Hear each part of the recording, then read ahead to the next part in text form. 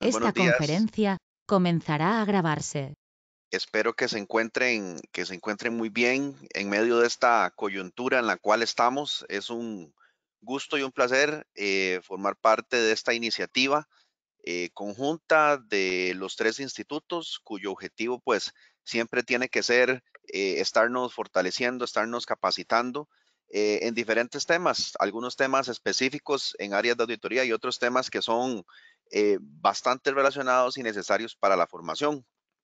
El día de hoy, eh, pues vamos a hablar un poco de temas de gobierno corporativo, eh, que es un tema medular y forma parte esencial de los modelos GRC, gobierno, riesgo y cumplimiento, que en muchas de las entidades financieras de los diferentes países a diferentes velocidades se han venido implementando.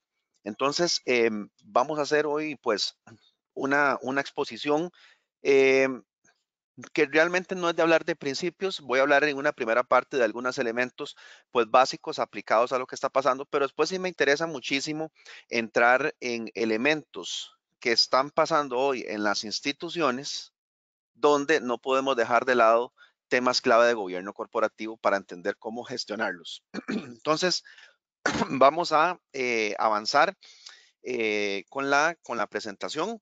Igual, de igual manera en el chat eh, que tienen ustedes ahí disponibles pueden hacer cualquier consulta. Em, y si está, pues dentro de medida de lo posible también las, las estaremos viendo durante la, la sesión. Vamos a ver, cuando uno habla de gobierno corporativo, básicamente lo relaciona al conjunto de principios y reglas con las cuales las organizaciones toman decisiones. Y cuando uno habla de las organizaciones, piensa en dos partes principales esenciales, al menos como punto de entrada.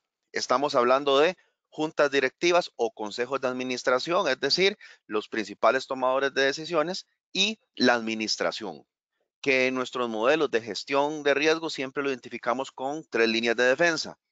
La primera línea de defensa, los que toman riesgos, la segunda línea de defensa, los que monitorean riesgos y la tercera línea de defensa, donde comúnmente se encuentran las áreas de auditorías internas.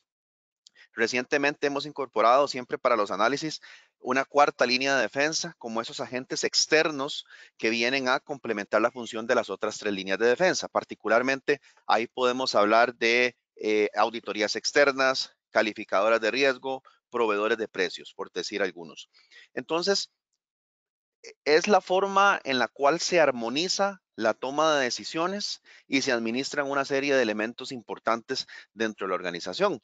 Y después también marcan la pauta de cómo nos vamos a relacionar, cómo vamos a tomar decisiones respecto a otros grupos de interés que en el, en el enunciado de la filmina es lo que llamamos partes interesadas, pero también puede ser grupos de interés, que es lo que uno utiliza mucho para analizar riesgo reputacional. Entonces está hablando, bueno, cómo vamos a hacer los procesos que tienen que ver con proveedores, cómo va, a ser la comunicación con el regulador, cómo vamos a eh, relacionarnos inclusive hasta con la prensa. Pero eh, algo importantísimo en gobierno corporativo y que tenemos que tener clarísimo como punto de partida es que es un tema más de principios y no tanto de reglas. ¿Por qué? Porque hay tres palabras clave que definen este, esta, definición y son las que están en la filmina en azul y son el diseño, la implementación y la evaluación. En el diseño, cada organización tiene una manera particular de tener su propio diseño de gobierno corporativo. Y lo importante es que, dada la naturaleza, dado el volumen, dado el modelo de negocio, se puedan tener o, diseñar la, forma de hacer gobierno corporativo eh, que se adapte mejor a la organización. Por ejemplo, que es muy común eh, ver recientemente, eh, la regulación prudencial avanzado de tal manera que ahora cuando uno habla de cumplimiento, ¿verdad? De la parte de cumplimiento, comúnmente, dependiendo de la terminología que se utiliza en las regulaciones, la gente piensa en un oficial de cumplimiento, que es la persona encargada de la prevención de todo lo que tiene que ver con legitimación de capitales y financiamiento al terrorismo. Pero la figura de cumplimiento de lo que llamamos compliance implica otras, otras aristas de cumplimiento. Por ejemplo, cumplimiento normativo. La figura de cumplimiento normativo se ha puesto muy de moda en las diferentes eh, regulaciones. Entonces, dependiendo del tamaño de la organización, cuando las organizaciones son muy grandes, en ocasiones, pues sí, recurren a tener un área completa de cumplimiento normativo con un director, con un equipo de analistas, pero para organizaciones más pequeñas, con una persona basta. Y si la organización es todavía más pequeña, basta con anexarle a un área independiente, que puede ser, por ejemplo, el área, alguien del área de riesgos, esa función. De igual manera, es cuando uno habla de comités, hay comités que generalmente son regulatorios, comités de riesgo, comités de auditoría, esto para entidades reguladas, comité de cumplimiento, eh, comité de nominaciones, comité de remuneraciones, pero no necesariamente eso implica que las entidades tienen que ser toda esa estructura. Por ejemplo, nominaciones y remuneraciones en muchas organizaciones son comités que se anexan, las funciones se anexan y es una manera también de simplificar. Sin embargo, siguen manteniendo el diseño y los buenos principios. Entonces, lo importante es que si bien es cierto, en los marcos normativos, ya sea principalmente para entidades financieras, las regulaciones o las circulares que tienen las entidades para gestionarse marcan una cierta pauta, está en cada organización cómo es que lo quiere estructurar. En la parte de implementación quizás no haya mucho que decir, pero sí en la parte de evaluación. Y ahí sería bueno que nosotros eh, independientemente de la línea de defensa que, en que tengamos en una organización, seamos eh, auditores o estemos en otra, en, otra eh, línea de defensa, preguntarse cuándo esa organización se ha evaluado el funcionamiento de su gobierno corporativo. No es tan sencillo de encontrarlo. Las experiencias más recientes que se han dado un poco es con todo lo que tiene que ver con los procesos de idoneidad y evaluaciones de desempeño, pero es un tema en el cual falta todavía pues madurez en, el recuadro eh, celeste tenemos ahí principalmente la OSD tiene unos principios de, gobierno de gobierno corporativo que esos son pues bastante bastante reconocidos. Cada país generalmente tiene sus normativas internas o tiene algunas ONGs que son más privadas, más asociaciones que tratan de dar normativa especialmente para entidades no financieras. Lo que son entidades financieras, sean del sector eh, de intermediación bancaria, de intermediación bursátil, sean seguros o sea pensiones, tienden a tener un marco normativo establecido. Ahora, cuando hablamos de algunos principios, y aquí no voy a decir todos, sin embargo, me parece que son quizás los que siempre saltan más en, en, las sesiones de trabajo. Uno, pues que está clarísimo, es el tema de la independencia. Cuando uno habla de independencia, habla de la independencia de la segunda línea de defensa, que ahí está cumplimiento, riesgos, eh, cumplimiento normativo, eh, habla de la independencia de la tercera línea de defensa, donde está auditoría, donde esas áreas le responden a sus respectivos comités y esos comités le responden a las juntas directivas o consejos de administración. Independencia de los tomadores de riesgo. En cuanto a transparencia y rendición de cuentas, esos principios pues siempre son eh, un poco abstractos. Sin embargo, vamos a ver con el avanzar de la presentación que hoy por hoy resaltan muchísimo interés en medio de la coyuntura en la que estamos. Deber de cuidado es actuar con prudencia, deber de lealtad es actuar con prudencia y tal vez el que me llamaría más la atención acá de, tener siempre en cuenta es el deber, el deber de cuidado. Y el mejor ejemplo para, para, para poderlo mostrar es como cuando cualquiera de ustedes va o quiere adquirir un vehículo, un carro. Entonces, ¿qué es lo que generalmente cada uno de nosotros hacemos? Nos metemos a Internet, a los buscadores de Internet, vamos y comparamos entre autos que sean de nuevos versus los que son de, que ya están usados, comparamos kilometraje, comparamos las, las extras que tengan, si tiene el vehículo algún problema legal.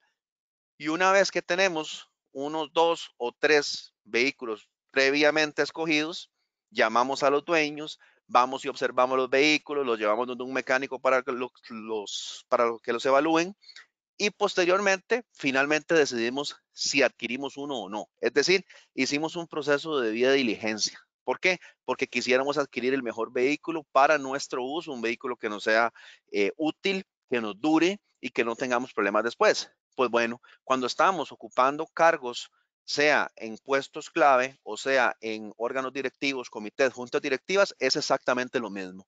Tenemos que tener un deber, un deber de cuidado de que las decisiones que se tomen dentro de esa organización, sean puestos de gerencia o sean puestos de comités, tienen que tener todas las debidas diligencias como si estuvieran tomándose decisiones propias. Entonces, ese es quizás el que, el que me interesa eh, explicar un poco, porque no es tan, tan transparente como los demás eh, con respecto a su terminología.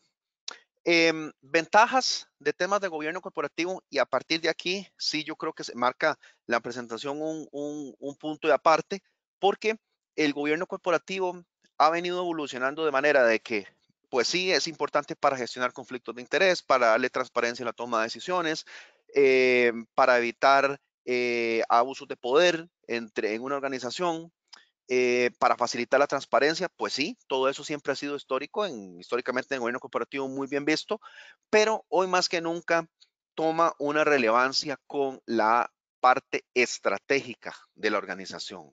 Entonces, la primera función que tiene una junta directiva o un consejo de administración es aprobar y supervisar, monitorear su propio plan estratégico. Esa es la primera función de cumplimiento desde el punto de vista del gobierno corporativo que ahora podemos identificar en esas juntas directivas.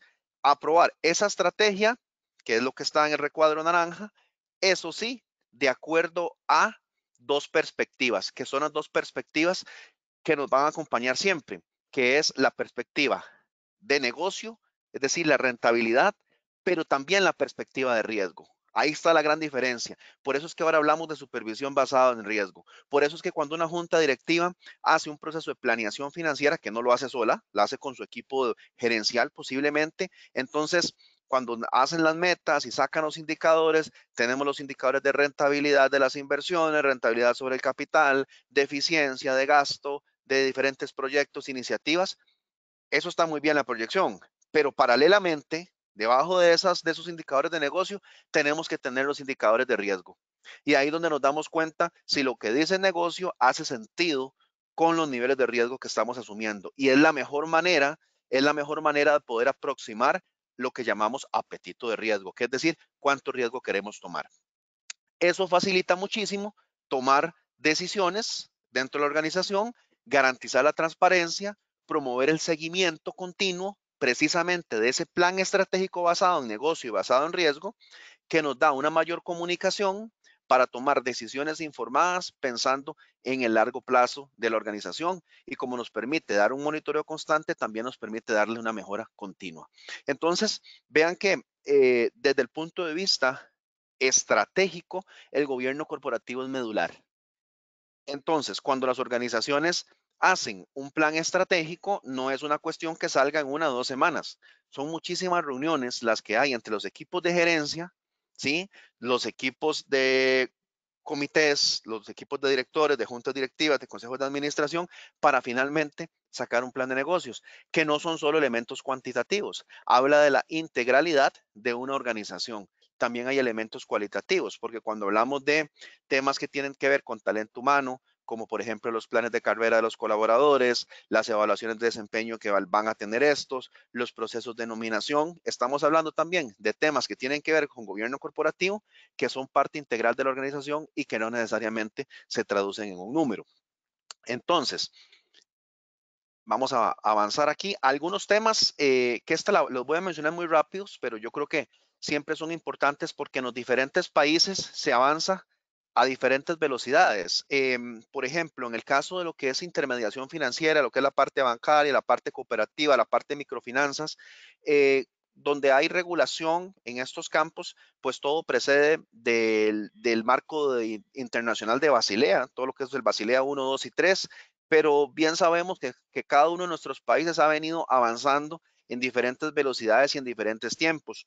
Por ejemplo, Basilea 3, que nace en el año 2008, cuyo principio principal fue temas de liquidez. En Costa Rica, por ejemplo, la recuerdo que la normativa salió en el 2000, más o menos en el 2013, me parece que eh, en Nicaragua creo que fue en el 2015, en Honduras en el 2017. Es decir, los, países han ido tomando a diferentes velocidades normativas. Cuando uno habla de riesgo operativo, que eso viene desde el 2004 en Basilea, ningún país, eh, al menos de nuestra región, ha avanzado de el base, del, del, modelo básico, por ejemplo, el riesgo operativo, que es basado en un porcentaje para poder tener cuánto se requiere de capital. Algunos temas que los voy a mencionar muy rápido, que se han ido avanzando en diferentes eh, velocidades. Cada vez es más común hacer estrategias basadas en riesgo. Por eso es que cuando uno analiza un plan estratégico, lo primero que trata de identificar es, bueno, El plan estratégico tiene un análisis de riesgo previo y cuando le damos seguimiento tiene o no esas dos perspectivas. Todo lo que tiene que ver con procesos de nominaciones o de idoneidad, eso es muy importante para poder marcar una pauta ordenada de quiénes son los que podrían llegar a tomar decisiones. En algunas organizaciones que son de capital privado, eso es un poco más complicado porque son dos o tres dueños que simplemente pues nominan a veces a gente pues de su confianza. Cada vez hay un mayor interés en la gestión de riesgos, en sistemas de información completos. Eh, cada vez las organizaciones tienen menor tolerancia o menor aceptación a tener incumplimientos normativos, sea con el regulador, sea con auditorías internas, con auditorías externas.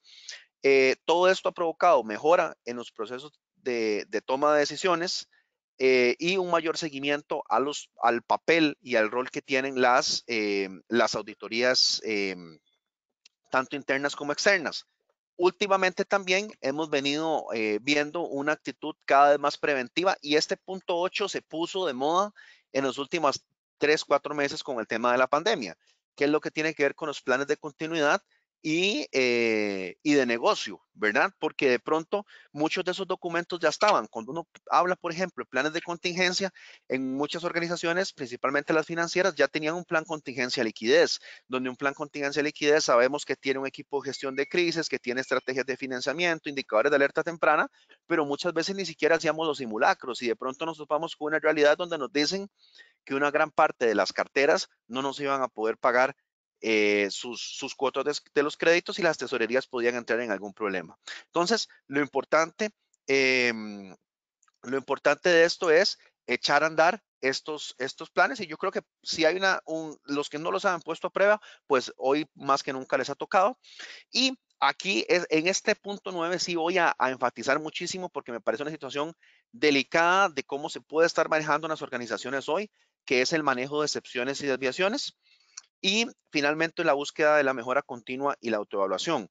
Vamos a ver, quisiera enfatizar em, en el punto 9. Quisiera enfatizar en el punto 9 porque cuando estamos acostumbrados, por ejemplo, a ir a, revisar eh, el monitoreo que se le da indicadores, entonces estamos acostumbrados, yo no sé si a ustedes les ha pasado a los famosos tableros de riesgo, ¿verdad? Que tienen los colores del semáforo, verde, amarillo y rojo. Entonces, si están verde, decimos que está de acuerdo al apetito, todo está muy bien. Si está en amarillo, decimos que hay una ligera desviación, pero se tolera. Y si está en rojo, ya decimos que desbordó completamente el límite. Entonces, cuando hicimos la plana, esos indicadores, que es la perspectiva de riesgo, siguiendo lo que acabo de decir hace un par de filminas, debe haber salido también, debe estar ligado a el plan estratégico. Y en nuestro marco de gobierno corporativo, generalmente dijimos, que si el indicador se ponía en amarillo o se ponía en rojo, se tomaban o planes de acción o había que activar contingencias. Eso es lo que tenemos escrito posiblemente hasta hace tres meses. Entonces, resulta que llega el tema de la pandemia, todas las cadenas de valor se vienen para los suelos, todos los riesgos se empiezan a activar. Entonces, es muy posible que esos tableros que estamos acostumbrados a ver en verde, hoy por hoy estén la gran mayoría en amarillos o en rojo. Entonces entramos en un conflicto y principalmente las entidades, e incluso las que son reguladas, entran en un conflicto porque entonces tenemos que ponernos de acuerdo. Teníamos escrito antes que si se ponían en amarillo o en rojo había que tomar acciones, ¿sí? Y ahora resulta que todo está en amarillo y está en rojo. La pregunta es, ¿tomamos acciones? Hay varios caminos que he visto recientemente. Algunas entidades toman acciones, otras cambian límites para que todo vuelva a estar en verde. U otras hacen uso, y es lo que yo quisiera tal vez aquí eh, explicar un poco, de el manejo de las excepciones. ¿Por qué? Vamos a ver, no perdamos de vista que cuando dijimos que si se ponían amarillo o en rojo tomábamos acciones, lo hicimos pensando en ese ejercicio de planeación financiera que duramos no sé cuántas semanas haciéndolo y eso era bajo condiciones normales de mercado. Es decir, tomábamos acciones bajo un escenario de condiciones normales. Hoy por hoy esa no es la realidad. Hoy por hoy todos los riesgos están activados. Entonces, tomar decisiones hoy, a pesar de que lo habíamos dicho hace tres o cuatro meses, más bien puede ser contraproducente para la organización. Pero hoy más que nunca es importante que eso quede de esa manera razonado, de esa forma, en las actas y en la toma de decisiones que se están tomando en las organizaciones. Porque el día de mañana viene un regulador y dependiendo del analista que le va a tocar a la organización, eh, pues se puede, puede entrar en un, en un entredicho de por qué no se tomaron ciertas decisiones. ¿Por qué puede ser no óptimo eh, tomar decisiones. Supongan ustedes que ustedes manejan cierto portafolio de inversiones. Hoy por hoy las inversiones, los precios de las inversiones más que nunca se están moviendo. Los indicadores de valor en riesgo, de riesgo de precio, están poniéndose todos en rojo. Tienen muchas pérdidas de capital y tal vez la salida sea, tenemos miedo, vendamos ya.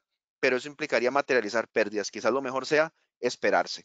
La segunda opción, cambiar de límites en medio de condiciones tan, de tanta incertidumbre, no es recomendable porque tampoco estamos, eh, no, no sabemos todavía cuáles van a ser esos nuevos niveles de normalidad, si es que existe esa palabra, para los cuales la entidad se gestionaría.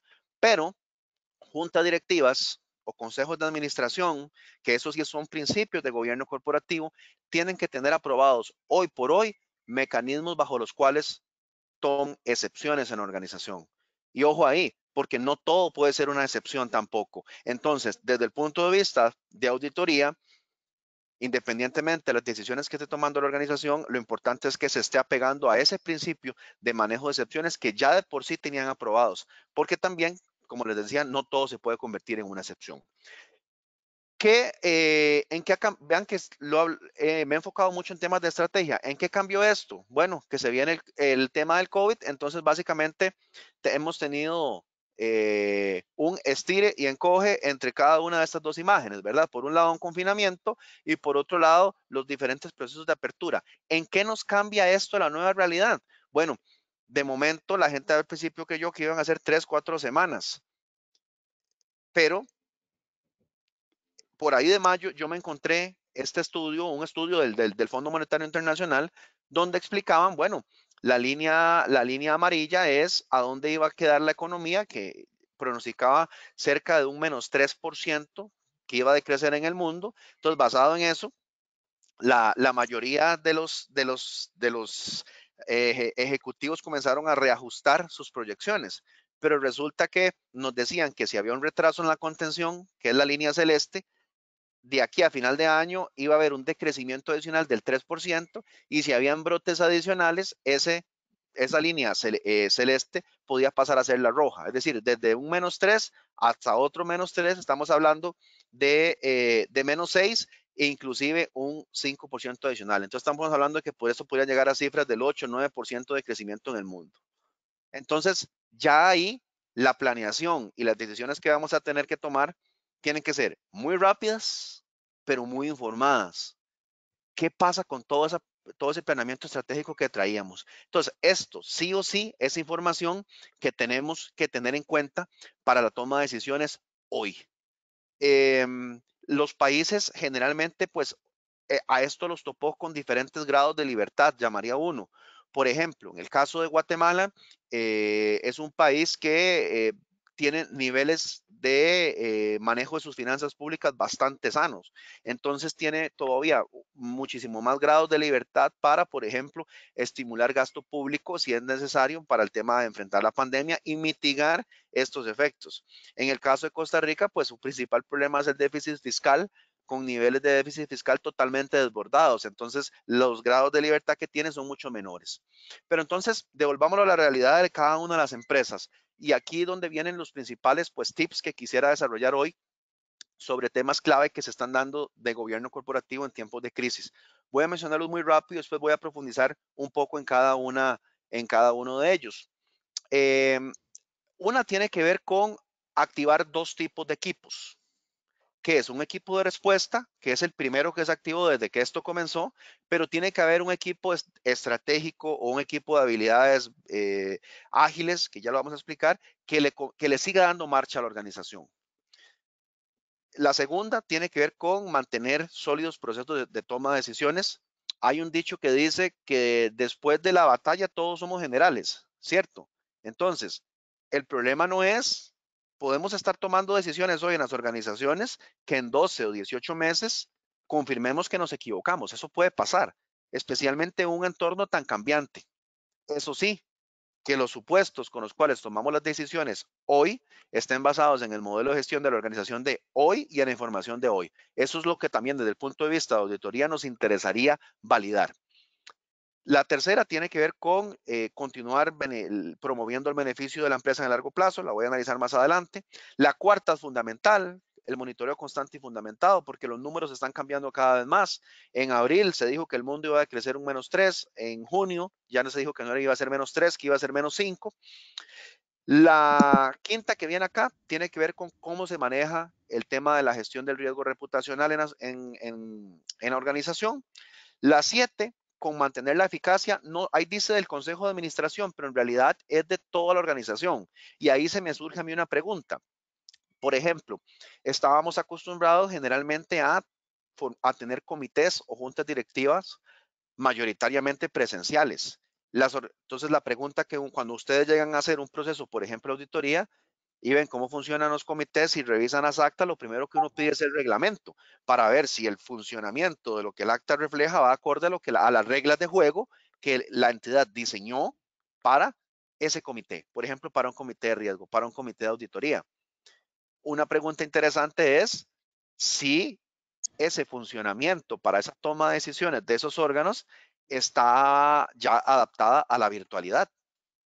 Es decir, por ejemplo, yo formo parte de un comité de riesgo, que de hecho tengo que, tengo que presidirlo, donde una de las indicaciones y modificaciones que se nos dijo, ¿verdad? Que había que tener era a la hora de votar, a la hora de votar, debo de encender la cámara y tengo que decir, Pedro Aguilar, de acuerdo, ¿verdad? Son, son las reglas de juego de la organización y eso tiene que estar formalizado en, eh, en los documentos necesarios o pertinentes de la organización, porque es la forma de validar la toma de decisiones. Todo eso lo vamos a profundizar en las siguientes filminas. Y la última, pues por supuesto que es, es más que, que, mm, que necesaria el tema de informarse constantemente, que suena muy obvia. El tema es que a veces hay que entender bien las, en medio de tanta información, a veces la información que tenemos no necesariamente es, eh, no necesariamente la más, la más certera.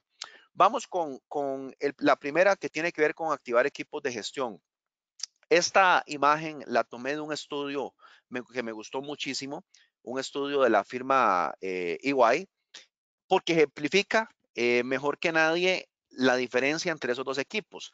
Vean que en el punto uno estamos hablando de, ese equipo que es un equipo más de respuesta, el equipo que va más relacionado a lo que está, a lo que tiene que ver con la continuidad del negocio o con, por ejemplo, un equipo de contingencia de liquidez.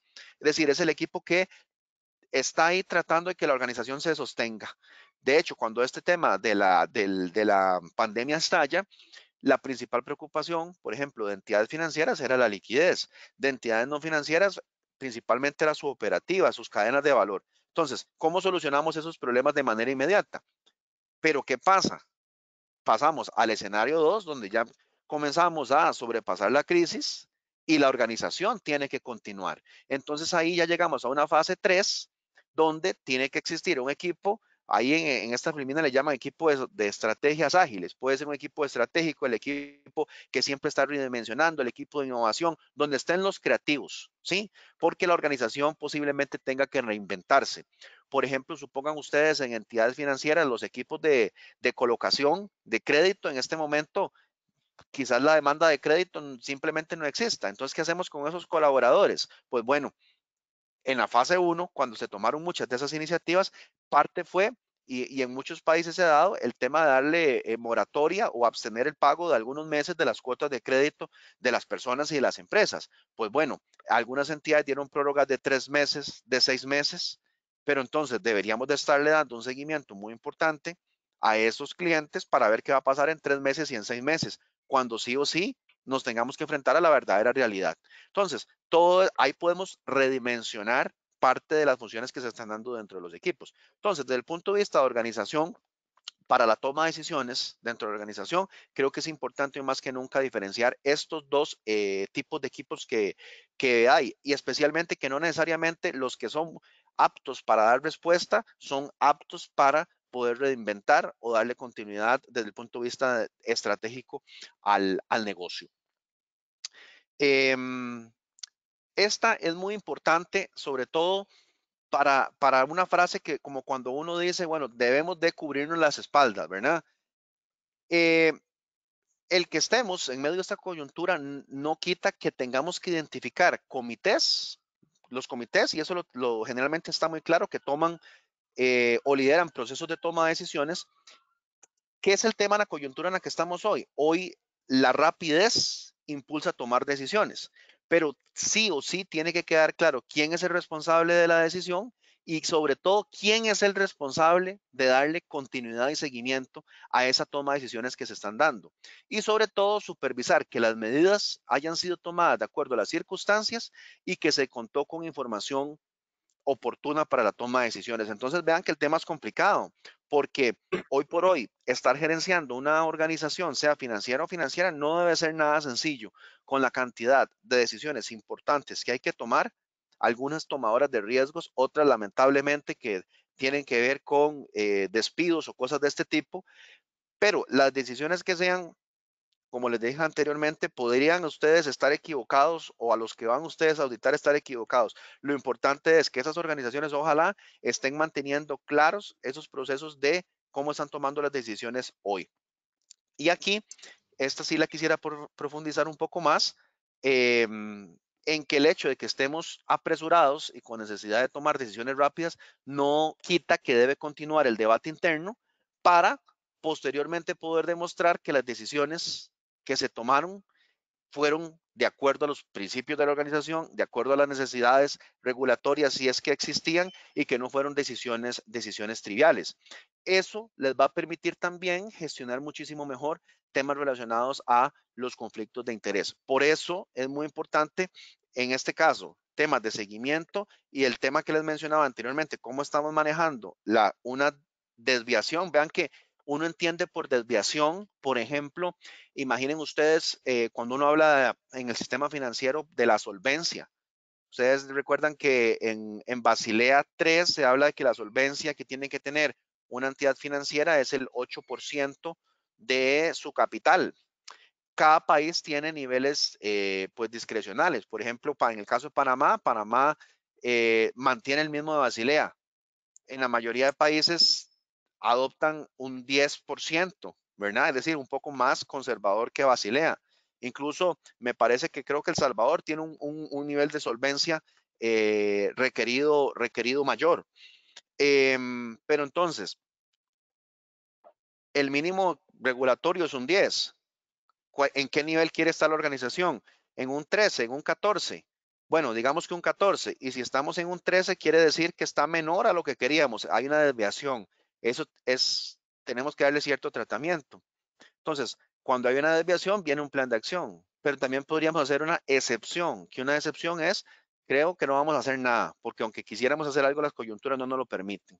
Eso es una decisión súper delicada. Estamos hablando sobre el capital capaz de soportar una serie de riesgos que está menor al que queríamos. Y estamos diciendo que no vamos a hacer nada.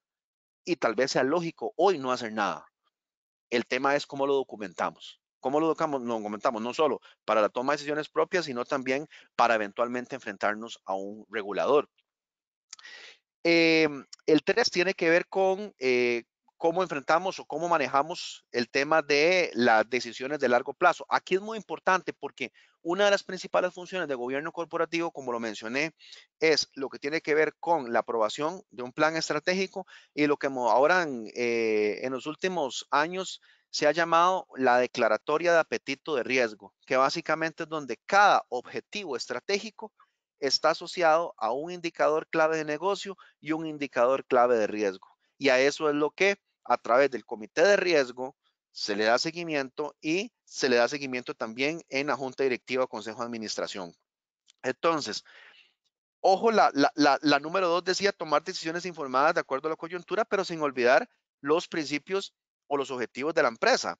Entonces sí o sí tenemos que visualizar a la empresa en el largo plazo. ¿Para qué? Para evitar decisiones que aunque pudieran estar muy bien intencionadas, pueden complicar a la organización en el corto plazo.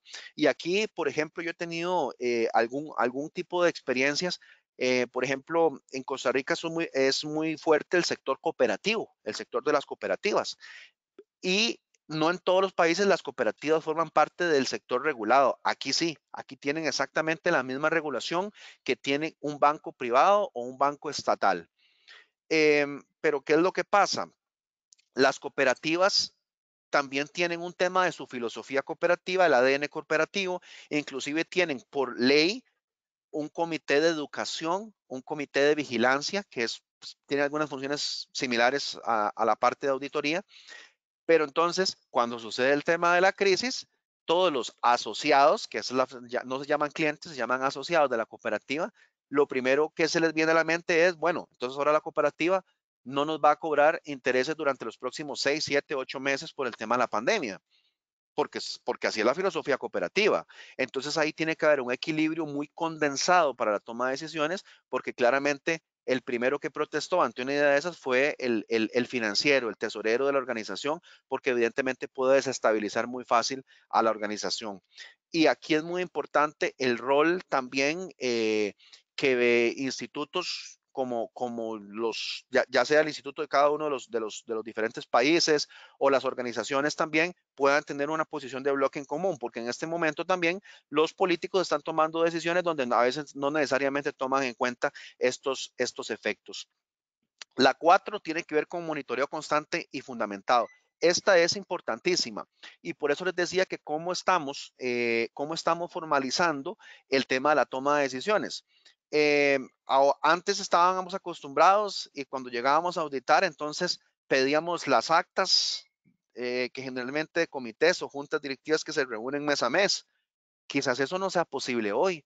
Quizás ahora las reuniones haya que pedir, si ustedes quieren revisar una sesión, pues piden el acta, pero también puedan pedir un video. O a veces hay decisiones que se están tomando inclusive por un chat de WhatsApp porque no tenemos tiempo de esperarnos una semana a reunirnos porque las condiciones están cambiando muy rápido, especialmente cuando tiene que ver con recomposición de pasivos, cuando tiene que ver con eh, inversiones importantes, cuando tiene que ver con decisiones de, tercerización, con decisiones que tienen que ver con el personal. Entonces, más que nunca hay que tomar en cuenta esta información.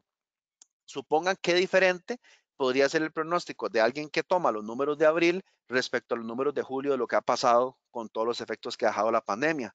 Posiblemente, si, si la organización, el, el gerente general de la organización está en su mente con que la realidad es la que tenía en abril, quizás esté hoy dispuesto a tomar mucho más riesgos, así se informa, ¿sí? De lo que está pasando a, a julio. ¿Ok? Y especialmente con todos los efectos que esto ha venido teniendo en, la economía. Em, el quinto tiene que ver con temas de reputación organizacional. Y aquí hace poco leí un estudio eh, que me llamó muchísimo la atención. Eh, era un estudio del INCAE, donde explicaban cómo y, eso yo creo que todos en redes sociales de alguna forma lo hemos, lo hemos compartido. La gente que pone imágenes de el que te llamó en la crisis y es tu amigo y los que no se olvidaron en la crisis de cómo estabas, esos son tus verdaderos amigos. Igual con las empresas. Entonces, me llamaba la atención porque decía que eh, a pesar de que esto, hablábamos ahora antes de empezar con Don Donald, de que esto va a durar, ¿verdad? Yo creo que esto va a durar varios meses, nos falta bastante rato todavía. Llegará un momento donde comenzará a diluirse el efecto pandemia y esto pasará. Sin embargo, cuando esto pase, yo creo que, y, y nos acentuemos en esa nueva normalidad, tanto las personas como las empresas serán muy juzgadas por su manejo eh, en estos tiempos, en este momento de crisis, en este momento donde se ha pegado mucho a temas de solidaridad y demás. Pero entonces ahí viene el equilibrio. Entonces, y, y cuando yo hablo de equilibrio, sí o sí, hay que entender cómo la organización, y vamos otra vez a, a las funciones principales de una junta directiva, está tomando decisiones, porque no puede perder de vista la visión de largo plazo de la organización, a dónde quiere llegar, su misión, su visión, sus objetivos, y para eso tiene que tomar decisiones de negocio inteligentes, pero también tiene que manejar su reputación. Entonces, ahí nos vamos a una pregunta todavía más clave desde el punto de vista, y ahí ligamos gobierno corporativo con riesgos, porque la primera pregunta que uno llega, cuando uno llega a hacer una auditoría de riesgos, es, bueno, ¿cuáles son los riesgos relevantes de la organización? Cuénteme. Yo no se los voy a decir, yo puedo tener una idea, pero usted me lo tiene que decir cuáles son sus riesgos importantes. Y cuando uno habla, por ejemplo, del riesgo de legitimación de capitales, uno pregunta en un consejo de administración, una junta directiva. El riesgo de legitimación de capitales es importante para ustedes, es relevante todos levantan la mano y dicen que sí. Cuando uno dice eh, el riesgo operativo, como el 70-75% dice que sí. Cuando uno dice riesgo legal, quizá porque omiten algunas cosas, la mitad dice que sí. Si yo les digo riesgo de fraude, un 30% dice que sí, es mucho menor. Pero si les digo riesgo reputacional, todo el mundo también levanta la mano ¿verdad? ¿Por qué? Porque nadie quiere tener problemas con la marca de su empresa, nadie quiere que su empresa sea, tenga algún problema en alguna noticia, en un periódico, que se hable mal en redes sociales y este es un momento donde si no armonizamos en la organización, si decimos el riesgo reputacional es importante, entonces ahí, las entidades hoy tienen un dilema. ¿Cómo compensamos el equilibrio financiero, si lo queremos llamar, también con el equilibrio cualitativo, con el equilibrio que no me lo dicen los números? Tienen que tener un proceso de armonía. Por eso es muy importante que en ese equilibrio financiero esté para mí lo que yo les hablé del equipo de gestión de crisis, más de contingencia, ¿verdad? Y en ese equipo que tiene que armonizar a la organización es el equipo que tiene que reinventar a la organización. Entonces vean cómo a nivel de gobierno corporativo recomponemos la estructura y eso también nos permite recomponer la gestión. Bien, em, esta es, es bien interesante porque, porque la eficacia de los órganos de gobierno no las podemos perder de vista. Cuando uno llega a, a, proponer evaluación, metodologías para evaluar gobierno corporativo, para evaluar una junta directiva, para evaluar un comité, eh, esquemas para, para, valorar el funcionamiento de la alta gerencia, la comunicación entre líneas de defensa, eh, tiende a haber temas no solo de las funciones que son regulatorias, sino también las del marco interno de la organización, unas, uno las incluye.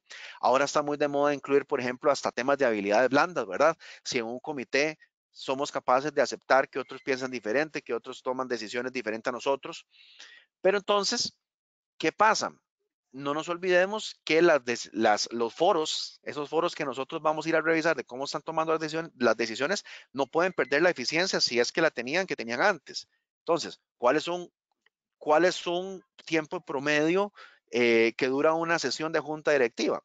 Cuando a uno le dicen que una junta directiva es a las 9 de la mañana, y son las 3 de la tarde y no hemos, y, y, que duraba dos horas, que era de 9 a 11 y son las 3 de la tarde y no hemos salido, esa institución tiene un serio problema de eficiencia o no se están administrando bien los tiempos de agenda o el presidente del comité no está ejerciendo bien su rol, ¿sí? O como cuando les, los, un tema que es medular en este momento. Ojo que he dicho que hay que tomar decisiones complicadas, rápidas e informadas. ¿Y qué pasa si me pasan información a las 11 de la noche para el comité a las 8 de la mañana y yo tengo que tomar, tengo que votar ahí, tengo que tomar una decisión? Entonces, esa eficiencia tenemos que continuarla promoviendo. Es decir, esto no implica un relajamiento en las sanas prácticas que ya traíamos o que deberían hacerse. Por supuesto que esto no quita lo que mencioné anteriormente, que es un tema de flexibilidad entre la organización, porque claramente habrán temas que hay que resolver de, de, hoy para mañana o de hoy en la mañana para hoy en la tarde. Por supuesto que sí, pero eso debería ser la excepción, no debería ser lo más común. Y eh, finalmente, em, el, tema del asesoramiento oportuno yo creo que es muy importante. A mí me ha gustado mucho cómo han eh, avanzado las regulaciones ligando los tres principios, ligando los principios de gobernanza, los principios de gestión de riesgos y los principios de cumplimiento, porque es una manera de armonizar a las líneas de defensa. Recuerden que un una junta directiva, un consejo de administración, independientemente del nombre que tengan, hoy más que nunca debe ser una máquina para toma de decisiones. Por eso es que tienen que ser comités expeditos, rápidos, rápidos, ágiles. Y para que eso pase, los comités que están, que le responden a esa junta directiva, tienen que tener procesos de análisis donde ya llegan los temas del área de negocio con los temas del área de riesgo muy condensados. ¿sí? Entonces, la participación es muy importante. Ojalá que las tres líneas de defensa puedan estar siendo partícipes y conocedores de a dónde va la organización para que de su perspectiva nos dé hacia lo que la organización se puede estar enfrentando. Y ahí depende mucho del nivel de madurez de cada institución. Por ejemplo, a mí me parecería espectacular que en una discusión estratégica o en una decisión importante que puede implicar un nivel de exposición importante, la decisión no, pase solo por la primera línea de defensa, no solo pase por el área de negocio. Ojalá esté ahí el encargado del área de riesgo, que es el que entiende supuestamente los riesgos relevantes y que los puede medir. No para que me detenga el negocio, pero tal vez sí me puede prever de algo o me puede ayudar a optimizar mi decisión. Y si tenemos también equipos de auditores que están, que entienden los modelos de negocio, qué mejor tener la perspectiva de una tercera línea de defensa Hay organizaciones que son un poco más celosas en el tema y cuando toman decisiones de negocio y estratégicas son solo las primeras líneas de defensa y al final es informativo lo que le llega a riesgo o lo que le llega a las auditorías. Bueno, son modelos de gestión, pero ojalá podamos avanzar hoy más que nunca para tener esa visión integral. Cada quien desde su línea de defensa puede dar puntos de alerta o eh, puntos de cómo tomar mejores decisiones. Y eso no quiere decir que ni riesgos ni la auditoría están perdiendo, están perdiendo independencia. Todo proceso de toma de decisiones y, las fases que, realmente las palabras clave que, que pongo ahí y ahí donde les decía la, sinergia entre la gobernanza, el riesgo y el cumplimiento, parte de fases de gestión de riesgo, ¿cierto? Cuando uno habla de las fases de gestión de riesgo, entonces la gente siempre comienza y dice, bueno, identificación de riesgos. Entonces, si ustedes están en riesgo operativo, van y ven el mapeo de procesos y cómo las áreas levantaron los procesos. Pero uno, antes de meterse a hacer un proceso de identificación de riesgos, y eso va de acuerdo a inclusive a la ISO 31000. Lo primero que hace es un análisis de contexto interno y externo. Es decir, y hoy más que nunca, vean qué importante es eso. Hoy, hoy más que nunca hay que ver qué está pasando en el mundo.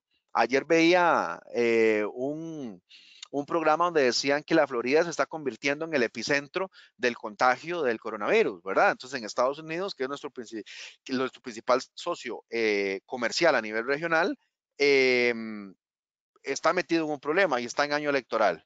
Y después, pues sí, las fases tradicionales de gestión de riesgos, el tema de identificación, no solo de riesgos, sino también de oportunidades. Recuerden que cuando uno habla desde el punto de vista de riesgos, no es solo lo malo que me puede pasar, sino también cómo aprovecho oportunidades, las mediciones de impacto, las gestiones de control, los planes de acción y contingencias y la información y toma de decisiones. Otro punto importante desde el punto de vista de, gobierno corporativo es que recordemos que todo el seguimiento de pendientes que se venían dando y ahí tenemos que tener la apertura para poderlo, para poder entender qué, qué viene haciendo la organización con esto. ¿Por qué? Eh, tal vez habían pendientes o hallazgos u observaciones de las auditorías internas y externas, ¿cierto? Y eso tenía plazos para cumplirse pero creo que este es un momento para entender, y ojo que también lo mencioné que era uno de los temas en que se venía avanzando bastante, cómo la organización ah, viene tratando los temas de requerimientos de, las líneas de defensa, de los pendientes, que no les gusta el incumplimiento normativo, pero quizás hoy las organizaciones, la capacidad que tengan para atender esos pendientes no sea la misma que tenían hace cuatro o cinco meses y quizá haya que reacomodar esos plazos. Entonces, eso es otro tema importante que hoy deberíamos como desde el punto de vista de auditoría, de tener un entendimiento muy claro, muy directo, ojalá muy a conciencia con los que tienen que tener esas mejoras en la, en la organización, porque quizás las prioridades hoy, en medio de la coyuntura en la que estamos, pues pueda, pueda ser otra. Pues bien, Em, esto era un poco lo, que quería eh, por el día de hoy, eh, por el día de hoy compartirles. Voy a cerrar con algunos otros temas em, que es muy rápidos para, para dar un espacio a que también pues puedan evacuar alguna consulta, algún comentario que quisieran, que quisieran compartir o experiencia que hayan estado viendo, porque estoy seguro que en el foro ah, hay personas que hoy por hoy están tomando decisiones, hay otras que están monitoreando las cosas, hay otras que están auditándolo. Entonces yo creo que la perspectiva y, y depende mucho también del, del giro de la, del de negocio, del sector en el cual, en el cual están. Otros temas, otros temas que siempre son, son importantes, pues todo lo que tiene que ver con definición de riesgos relevantes es una palabra clave en la cual cuando uno llega a una junta directiva debería decir los riesgos relevantes, todos los, los directores deberían de tener los mismos riesgos relevantes, que son los riesgos relevantes que, con los cuales se gestiona la organización, que son eh, la guía fundamental para gestionar y, tratar de vincular cada una de las iniciativas estratégicas que existan. Em, y después, eh, otra de estas que quisiera, que quisiera capturar de las que están acá es la interacción entre comités. Hoy más que nunca es muy importante que los comités estén entendiendo Primero, para que no estén duplicando porque no tienen mucho tiempo. Segundo, para que los procesos de decisiones sean muy ágiles. A veces cuando uno llega a un comité y, me ha pasado recientemente, hay que dar respuestas de estímulo. El equipo de, de respuesta de contingencia tiene ya estrategias claras. Las lleva a un comité de riesgo, y, la, es hasta el comité el primer momento donde el área de riesgos vio el tema. pues temas así no se pueden resolver, porque al comité tienen que llegar ya las posiciones consensuadas entre los tomadores de riesgo y los que están monitoreando y ojalá también de los que lo controlan. ¿Para qué? Para que el proceso de armonía de toma de decisiones sea más claro de cara a la junta, a la junta, a la junta directiva. No olvidemos también que estamos en un momento donde posiblemente las estructuras se están redefiniendo. Entonces ahí la gran pregunta es cómo hacemos para, para poner de acuerdo a la estrategia que es de largo plazo que traíamos basado en ese planeamiento de hace muchos meses en medio de un momento donde muchos sectores en los que estamos están en cero.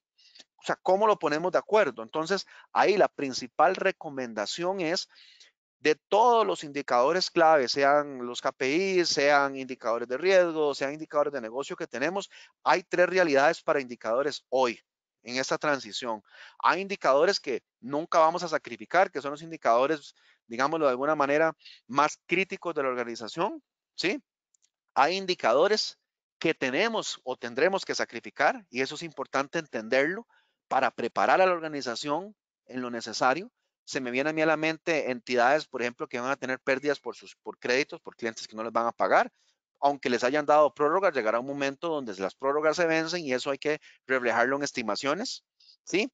Y hay indicadores que hay que redimensionar, que hay que redimensionar. Por ejemplo, las estructuras de cobranza de una entidad financiera, esos indicadores posiblemente ya no tengan sentido. Entonces, esa es una manera también de ir reacomodando lo que queríamos de largo plazo con la coyuntura en la cual tenemos, sin perder, mucho ojo, sin perder esa esencia que desde el punto de vista de toma de decisiones tiene que seguir siendo transparente, tiene que seguir siendo crítica y tiene que seguir siendo de acuerdo a lo que ya la organización tenía, eh, tenía, tenía establecido. Este, pues bien, em, de mi parte, eh, de mi parte, ya con esto, con esto concluyo la, presentación.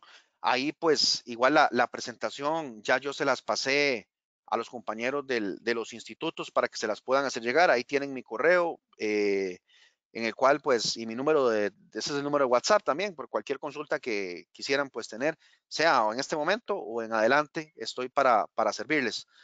Don Donald. Muchas gracias, Pedro. Tenemos preguntas por el chat. Wanda nos dice, buenos días, don Pedro. ¿Qué opina de incluir los planes de continuidad de negocios en el análisis del plan estratégico por el gobierno corporativo? Sí, ahí generalmente depende de la regulación, pero una de las funciones que viene delegada en la junta directiva o consejo de administración es aprobar, es aprobar el plan de los planes de contingencia y los planes de continuidad. Es decir, eso es una de las funciones principales eh, de, una junta, de una junta directiva. Entonces, efectivamente, efectivamente, a la hora de hacer el plan de negocio, deberían de entenderse cuáles son las principales actividades críticas de ese planeamiento financiero que deberían de estar ligadas a, a los planes de continuidad que estamos, que estamos aprobando y eso forma parte igual de la estructura de gobierno corporativo porque tiene ese plan de continuidad de negocio o de contingencia, de igual manera tiene todo un diseño que se actualiza, que hay que ponerlo a prueba, ¿verdad? Hay que hacer simulacros, hay que analizar resultados, los resultados tienen que ir otra vez a los comités y juntas directivas y tal vez lo que no esté pasando tan, bien, que eso es lo ideal, lo podamos corregir. ¿Para qué? Para que cuando las cosas efectivamente sucedan, la organización tenga una mejor capacidad de respuesta. Walter pregunta, en su experiencia, ¿qué países son los más avanzados en temas de gobierno corporativo y compliance? Esa pregunta es muy interesante porque si ustedes me, yo podría dar una pregunta, podría dar una pregunta muy, podría dar una respuesta muy sencilla y que todo el mundo diría, mm, sí, Pedro tiene, Pedro tiene razón cuando uno eh, ve, por ejemplo, los estándares que tienen las transnacionales, que son emisoras de valores en los mercados internacionales, ah, no voy a decir nombres, pero todo lo que tiene que ver con eh, empresas que son de inversión extranjera directa, los share services, todo esto, eh, las grandes firmas o los grandes bancos transnacionales, ¿verdad? Que están en diferentes países, ¿Qué más que esas entidades para tener clarísimos temas de estructura de gobierno y controles? ¿Cuántas cosas y cuántos filtros no tienen que pasar para poder, por ejemplo, emitir valores en Estados Unidos? Entonces uno pensaría que son esas grandes empresas de los mercados desarrollados. Sin embargo, sin embargo, una cosa es la teoría y otra cosa es la práctica, porque recuerden ustedes que en el 2008 los principales problemas que se dieron eh, de, por la crisis del 2008 tuvieron que ver 100% con temas de gobierno corporativo, ¿verdad? Recuerden cómo en el 2008 en Estados Unidos, el que era presidente de la FED, ¿verdad? No hacía mucho tiempo era el que tomaba decisiones en, bancos y aseguradoras en, Estados Unidos. No sé si han visto los, muchos de los documentales relacionados a eso. Entonces, si te, si, te tuviera que dar una respuesta en estándares, en, cómo han avanzado los temas de investigación, te diría, pues sí, economías avanzadas. Eh, si uno piensa en, en países, por ejemplo, la OSD, podría darte un ejemplo de esos, en estándares y marcos ya en aplicación tal cual, siento que es algo que está muy en el ADN de cada, de cada organización. Tenemos, tenemos a Pablo Camacho. Buenos días, don Pedro. Muy valiosa la presentación y su explicación. El hecho de que existan tantos cambios en la gestión implica que los mismos estarán fuera de políticas, manuales, procedimientos en este sentido, ¿qué debo hacer con respecto a este tipo de documentos? ¿Debo ajustarlos? Sí, esa es una muy buena pregunta y, vean que va muy relacionada. Yo, la, la enfoqué en la presentación más por el lado de indicadores, ¿verdad? Es decir, si los indicadores se nos salieron, ¿ahora qué hacemos? Pero vean que eso también está pasando con los procesos, ¿verdad? Em, yo a veces siempre les hago una pregunta cuando, cuando voy a sesiones entre una política y un procedimiento, ¿verdad? Recordemos que casi siempre las políticas son de aprobación de junta directiva. Entonces uno pensaría que las políticas deberían de ser documentos muy pequeños, no deberían ser grandes libros. Cuando uno se encuentra una política muy grande, casi siempre es porque es la política y a la vez tiene el procedimiento. La política es el que hago, el procedimiento es el cómo lo hago. Uno pensaría que el cómo lo hago más bien debería ser de resorte de la administración, que la administración lo pueda estar ajustando y cambiando de acuerdo a cómo va evolucionando el negocio y que eh, las políticas sí sean más del resorte, en este caso, de junta, de junta directiva. Creo que en este momento los, las cosas relacionadas a políticas que deberían de ser muy puntuales, muy críticas, sí es importante que se estén eh, documentando pues casi que de manera inmediata porque podrían implicar exposiciones o eh, tomas de decisiones importantes. Las que tienen que ver con procesos o manuales yo creo que la organización todavía está en un proceso de reinvención donde inclusive ni siquiera sabe a qué velocidad puede retomar sus, sus, sus movimientos, sus operaciones qué puestos de los que estaban ahora son diferentes, qué puestos ya no existen o qué puestos nuevos van a haber. Entonces, hacer eso en este momento quizás no sea lo más recomendable porque el, cambio pues va a seguir constante, entonces vas, vas a pasar en un proceso o van a pasar en un proceso de ajuste continuo que más bien quizás los pueda, los pueda desenfocar. Yo creo que no, lo, no es un momento para ajustar procedimientos todavía, sí lo relacionado a políticas porque eso debe quedar bien documentado ya que es más del resorte de junta, de junta directiva. Mercedes López pregunta, el tema de PLD, FT y auditoría de IT siempre queda por fuera de los planes de auditoría interna. ¿Cómo se ve dentro del gobierno corporativo? Sí, em, gracias a, Mercedes. Casualmente, ahora que, bueno, yo les hice la, cuando les hice la, consulta y les explicaba ese, ese ejemplo, esa, esa charla que, que di, casualmente la, forma de preguntarlo es, ¿cuáles son los riesgos relevantes de la organización? Es decir, si nos dicen que el riesgo de legitimación de capitales y el riesgo tecnológico es relevante, esperaríamos que sean riesgos que periódicamente monitorea el área de riesgo en su segunda como segunda línea de defensa y que tiene que estar en los planes de auditoría del equipo de auditoría, porque esa sería la forma en la cual entendemos que la auditoría interna de la organización está pegada al negocio, está enfocada a lo que la organización requiere y necesita.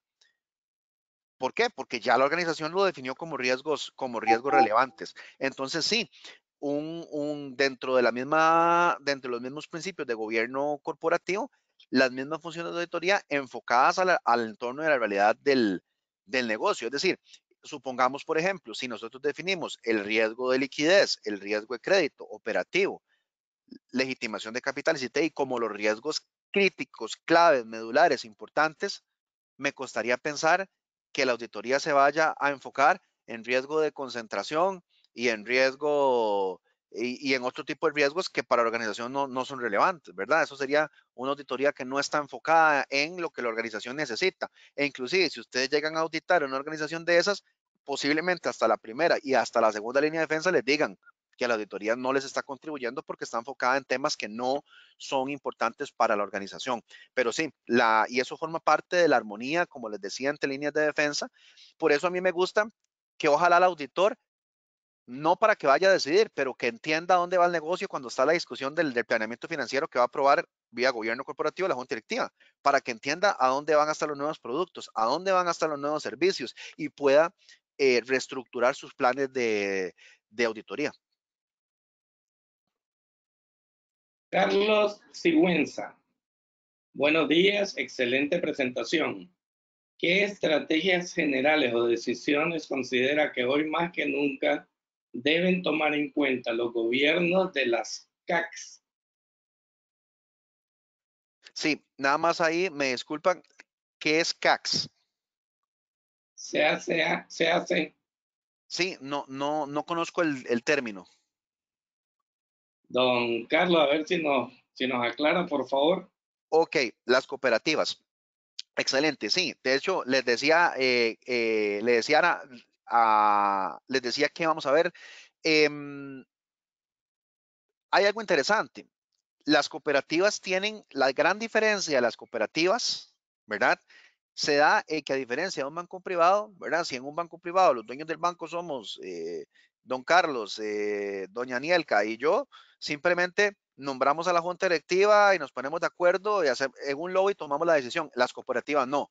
Las cooperativas tienen un proceso eh, de elección popular, ¿verdad? Con sus respectivos delegados, bajo lo cual nombran a los miembros directores de los consejos de administración.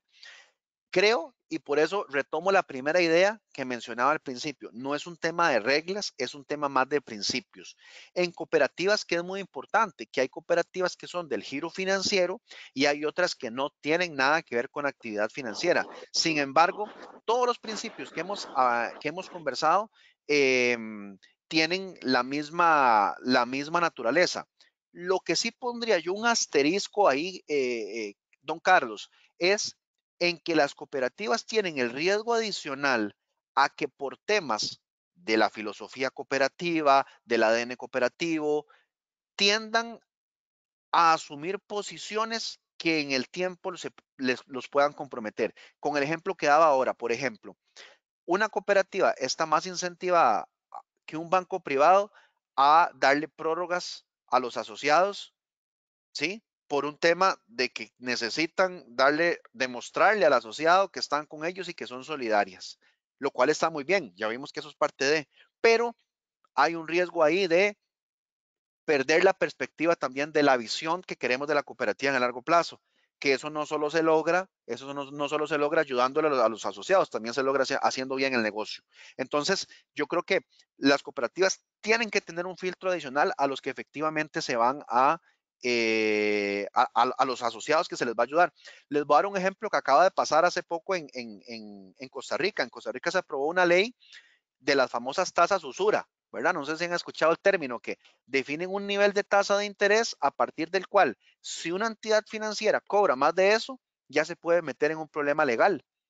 Eh, y los principales bancos que están sufriendo con eso son los bancos privados que eh, se dedican a tarjetas de crédito, que son las tasas de interés más altas del mercado.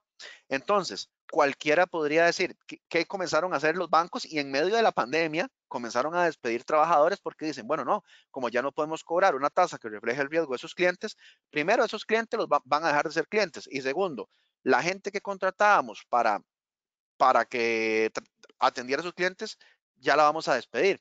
Entonces, uno podría, si en una cooperativa, escuchar un par de amigos que dicen, buenísimo, llega mercado cautivo para nosotros, vamos a aumentar la base de clientes, ahora vamos a poder colocar.